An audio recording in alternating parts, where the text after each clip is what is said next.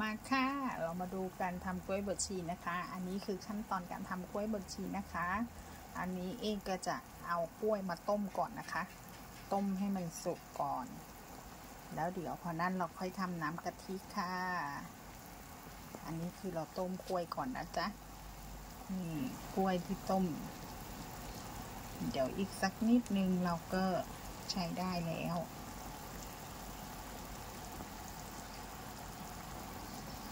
ค่ะ ทุกคนตอนนี้นะคะ เราก็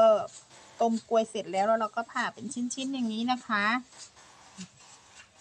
ผ่าเป็นชิ้นๆแบบนี้แล้วเดี๋ยวพอนั้นเสร็จเราก็เอาใส่หม้อนะคะ ที่เราเคี่ยวน้ำกะทิ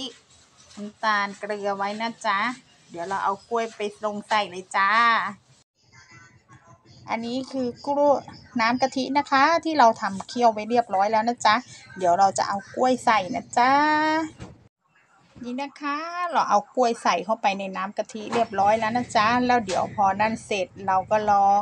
ต้มให้มันอีกนิดนึงให้เนื้อมันเข้ากัน ให้น้ำกะทิมันเข้าไปในเนื้อกล้วยนะคะ แล้วเราก็เอาขึ้นได้เลย